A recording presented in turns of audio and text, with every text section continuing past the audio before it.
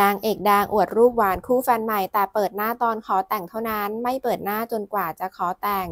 ตอนนี้หัวใจสีชมพูสุดๆสำหรับชิปปี้ ศิรินทร์ ปรีดียานนท์เราจะเห็นโมเมนต์หวานฉ่ำของเธอกับแฟนหนุ่มนอกวงการอยู่เรื่อยๆแม้จะไม่เปิดหน้า